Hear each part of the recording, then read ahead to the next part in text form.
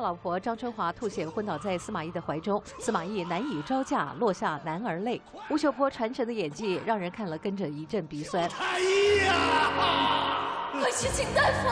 在三国剧中，司马懿的哭戏很有层次：一是为曹丕先逝而悲鸣，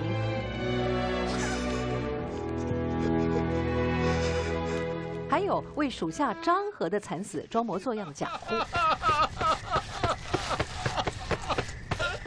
也有为敬仰的孔明送行而落泪。